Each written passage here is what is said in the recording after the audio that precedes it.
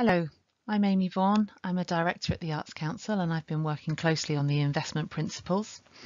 I am a white woman with uh, mid-length brown wavy hair.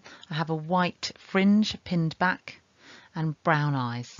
And I will be taking you through this presentation on the investment principles, which is designed for governing bodies of organisations wanting to understand more. The next slide will take you through a short film that sets out the investment principles in more detail and then I will take you through each of them, do a deep dive and then we'll think about how boards might develop their thinking around this work. Let's Create is our plan for how we can make sure by 2030 everyone in England can be creative and access culture. Published last year, we are now beginning to put it into practice, and it should help the culture sector respond to the challenges we all face as we begin the recovery from COVID 19. At its heart will be four new investment principles that will guide our investment decisions and apply to anyone who seeks funding from us. They are ambition and quality, inclusivity and relevance, dynamism, and environmental responsibility. Public investment in the future will require these principles to be embedded throughout your work and funding applications. This will vary for different types of organisations and individuals. In many cases, they are already embedded, but we want the best practice to become universal practice, creating a roadmap for the whole sector to reach the widest audience with the best work. Let's look at ambition and quality. This is about cultural organisations and creative individuals being ambitious and committed to constantly improving the quality of their work. Firstly, it means engaging with people inside and outside your circle about your mission and work. Secondly, it's about making sure your plans help you achieve your aims and ambitions and working with lots of different people to improve. Finally, it's about you deciding what quality looks like for you and being endlessly restless to improve future work.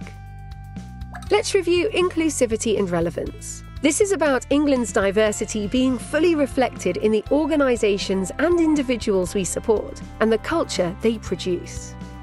Firstly, this will mean actively engaging with your local community, especially with underserved groups and people. Secondly, it will mean your staff, leaders, and board look like the community you aim to serve, and your working culture is safe, welcoming, and inspires everyone to do their best. Lastly, it means offering programs that attract everyone and allow everyone to see themselves in what you offer. Let's explore dynamism. This principle is about being dynamic and being able to respond to the challenges of the next decade. The first part of this will be ensuring that your objectives and the way that you work can adapt to change, and they empower you to seize new opportunities to develop and improve for everyone you support and serve. The second part is to understand that you can't do that without a brilliant team of skilled, ethical, and resilient individuals. It will mean investing in them and recognizing that leaders come in many forms. The final part is embracing data and technology. You will learn how to take advantage of all that technology can offer you and make informed decisions using good data. Let's talk about environmental responsibility. This principle means you lead the way in your approach to environmental responsibility. First, you use good data to understand your environmental impact and plan your changes. Secondly, you strive to ensure that within your business planning, your environmental strategy is at the core. Your plans are supported by targets and you can show positive change. And finally, you commission and present programs and content that explores the issues. We want the four investment principles to inspire the continuous improvement and development we all need to succeed. They will provide all of us receiving public money a benchmark to start from. We'll help you use the principles as a tool to guide your practice and reflect on your progress. The Arts Council won't set targets for you, but we want you to set your own ambitious ones. They'll be tested differently across funding programmes and applied differently depending on whether you are a local authority run service, a cultural organisation, or an individual creative practitioner. But used well and embedded into your plans, actions, and applications, we can be confident that anyone receiving public investment is helping to deliver the vision of our 10 year strategy. Let's create.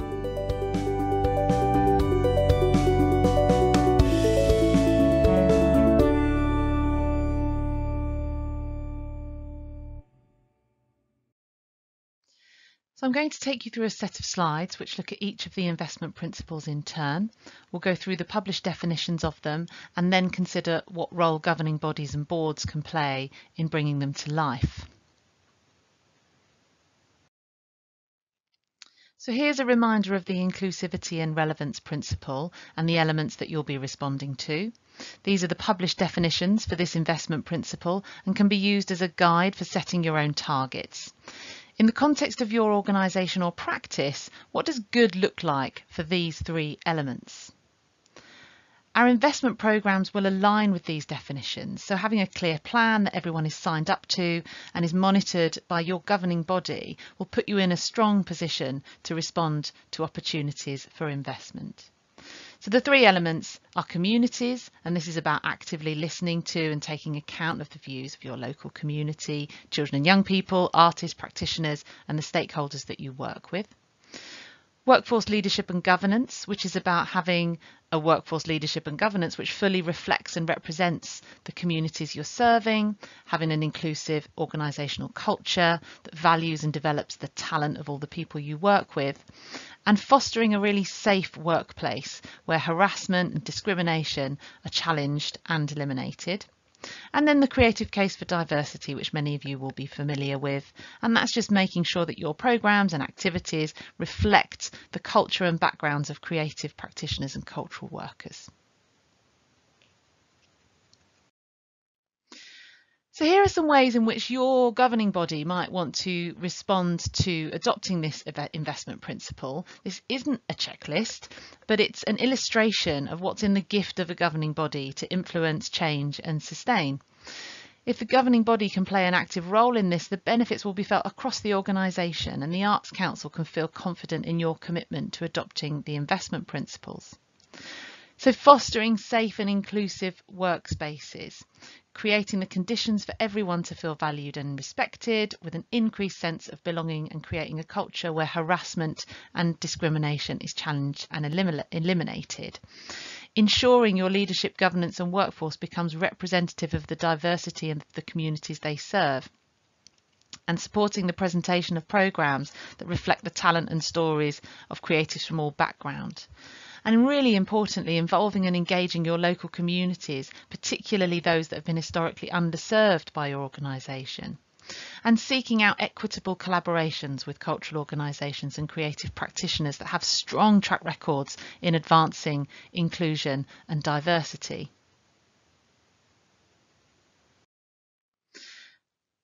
And here are the three elements of dynamism. So mission and business model. And this is about ensuring that your creative and cultural mission and the business model that you have in place that supports it adapts to a changing environment and the needs of the communities that you serve. So this is about demonstrating how you operate, how you examine how you operate and developing an understanding of the value that you can create for your customers and your community and seeking out practical ways to improve and develop that. It's also about people and skills. So investing in your governing body themselves um, and also uh, leadership and your executive team, but then also recognizing that leadership comes in many forms from right across your organization and recognizing that um, and that you can back those that inspire positive change. Supporting the development and well-being of all of your workforce. And here we really mean including your freelancers that you work with so that they can deliver your mission more effectively and also with using technology and data. So committing to using data and all of the appropriate technologies available to you to move your business forward, prioritizing developing that kind of data skills and literacy across your business and really using data in your decision making and making sure that it's accurate and up to date. And so some examples of what good governance looks like in this context would be that as a board or as a governing body, you're exploring how the organisation is creating value, who it's for, and how you're going to evidence it. And you reflect on and refine the business model of the organisation on an ongoing basis. You value and invest in learning and development. And you value the skills and capabilities that are required to embrace new technologies into the organisation. And very importantly for governance, this is about using data driven decision making and really demonstrating that through your papers and through the way that you operate, that you pull that data in whenever there are decisions to be made. And so here is ambition and quality. So the three elements of ambition and quality, are understanding perceptions, and this is about developing your creative ambitions and improving the quality of your work by listening to the views of people both inside and outside your organisation, and very importantly, outside your immediate circle. Engaging with them about your mission, talking about the quality of your creative and cultural programmes.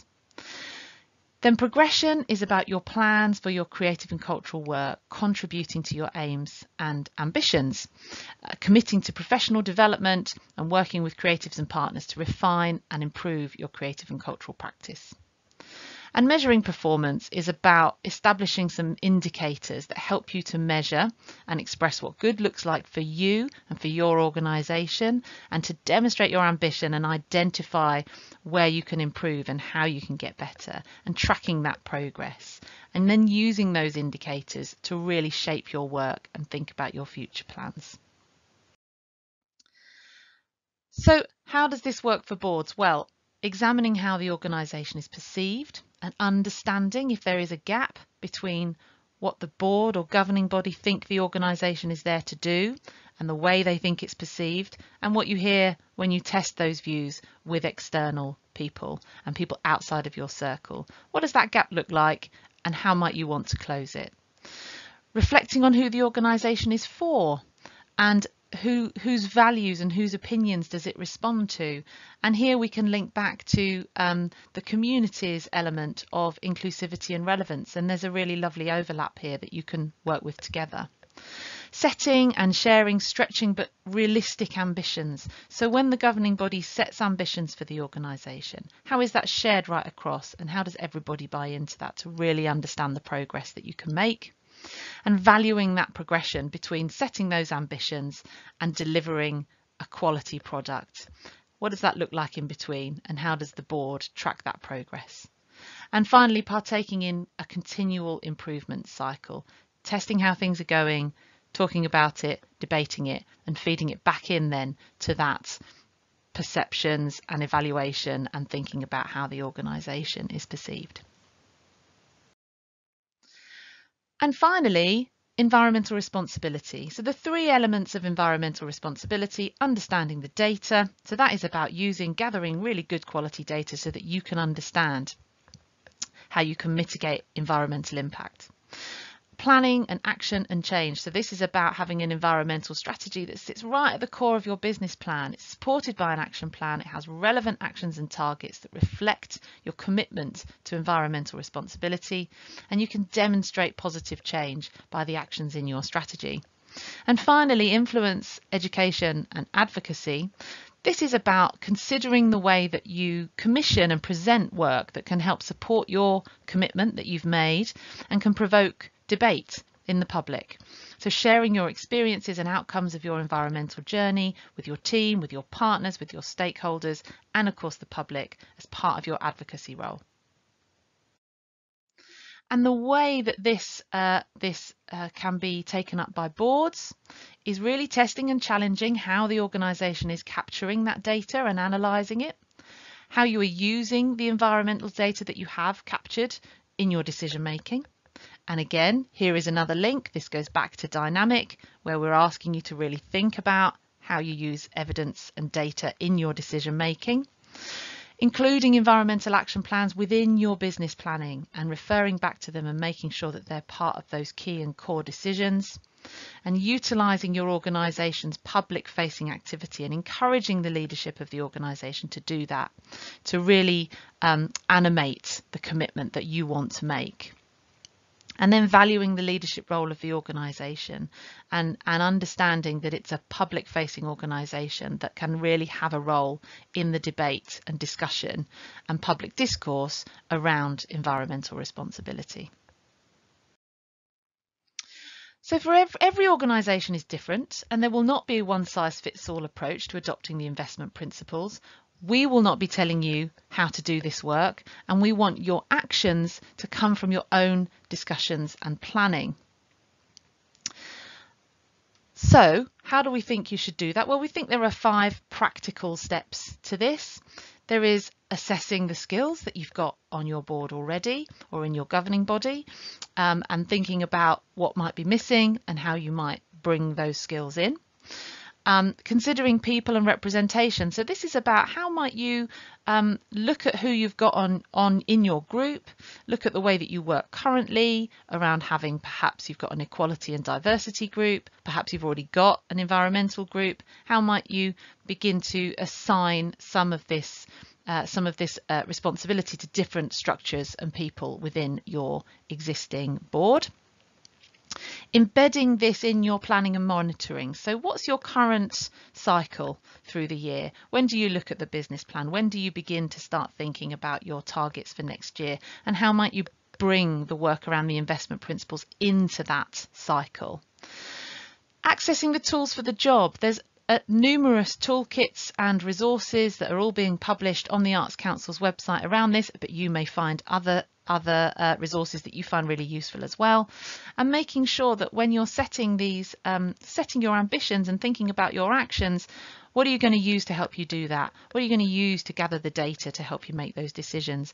And what toolkits might you tap into or resources might you tap into to really help deepen your understanding and finally, producing good papers, really thinking about how are you going to demonstrate that the board has really adopted the, um, the approach and an approach to the investment principles that they feel comfortable with, but how are you going to monitor that and progress it and how are you going to record the progress that's being made as you, as you go through the next few years.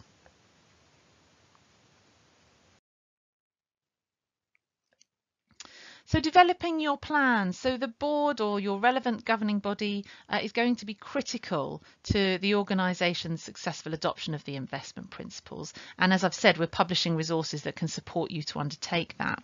But we want to emphasise the need to consider how boards currently operate, what they want to change, and equally important, what you can adapt from your current ways of working.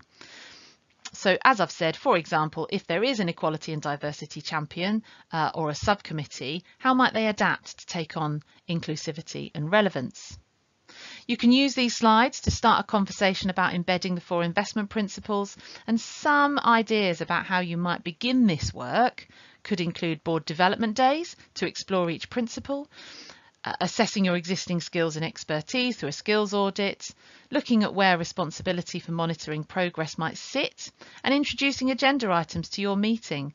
Now that could be um, one agenda item. One agenda item is um, assigned to an investment principle each meeting. Or you might find that there are actions that sit against particular principles that you want to visit every meeting. But making sure that you've got a plan for that and that you know how that's going to map out across the year will be really, really helpful.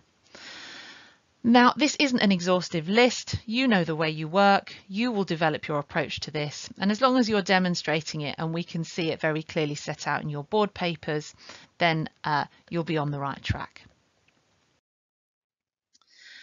And our resources are designed to reach a range of audiences. We'll be doing resources for organisations, for individuals, for our local authority and funding partners, and they're designed to be beneficial for those in receipt of both regular and project funding. This slide deck is part of the suite of resources aimed at boards and governing bodies and is supported by a guide to working with the investment principles. And we will also be releasing an animation that underline the importance of this role in the successful adoption of the investment principles.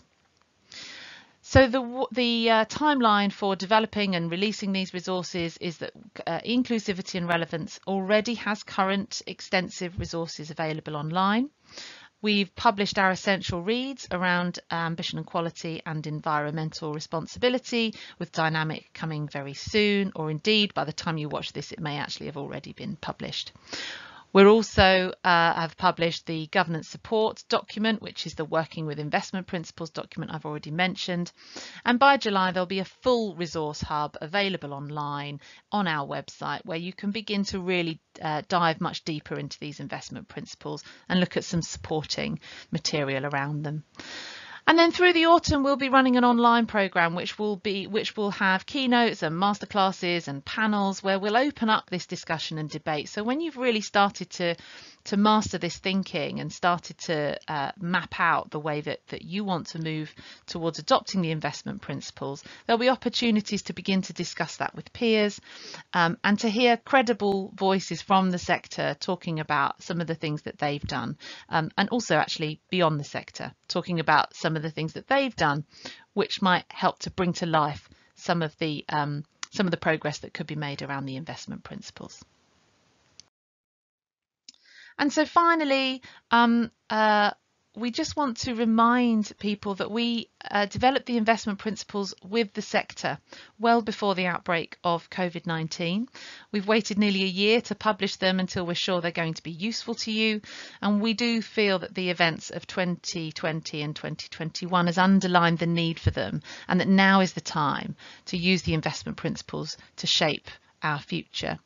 We've produced this, um, this slide deck to help you embark on a journey out of the pandemic and we want to support you and the wider sector to contribute fully to our national recovery and help shape an exciting future for creativity and culture in this country. Thanks very much for listening. Please do uh, get in touch with us if you've got any questions about the investment principles.